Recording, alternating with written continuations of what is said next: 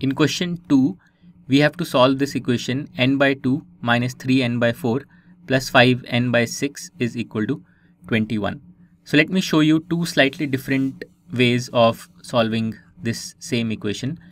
In the first approach, we can combine the three fractional terms on the left hand side by taking the LCM of the denominator. So the denominators are 2, 4 and 6 and the LCM of these three numbers is 12. So let's take the LCM and now corresponding to this n we will have 6n and for this 3n we will have 3n times 3 so we will get minus, uh, 9n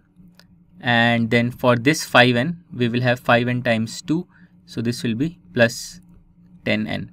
so observe this step carefully once again. We have simply added the fractional terms the three fractional terms on the left hand side by taking the LCM of the denominators. And on the right side we have 21 all right now let's simplify this further. So we have 6n minus 9n that's minus 3n and minus 3n plus 10n is 7n so we get 7n in the numerator divided by 12 this is equal to 21 now let's divide both sides of the equation by 7 because we have this 7 here and we have this 21 here uh, and 21 is a multiple of 7. So if we do that we will get n by 12 on the left side and on the right side we will have 21 divided by 7 and 21 divided by 7 is 3.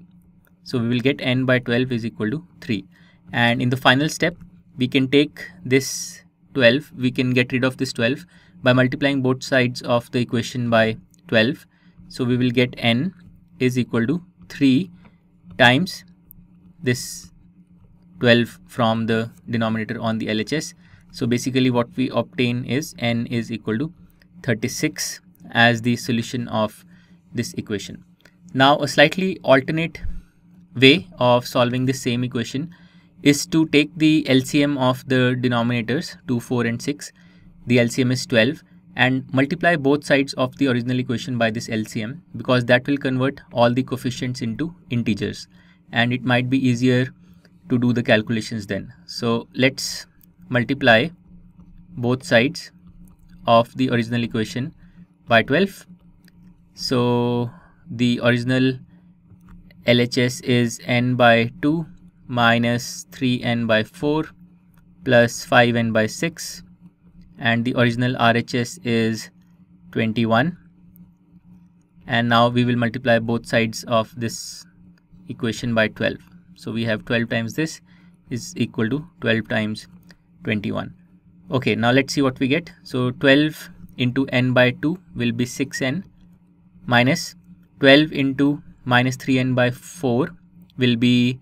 uh, minus 9n and then 12 into 5n by 6 will be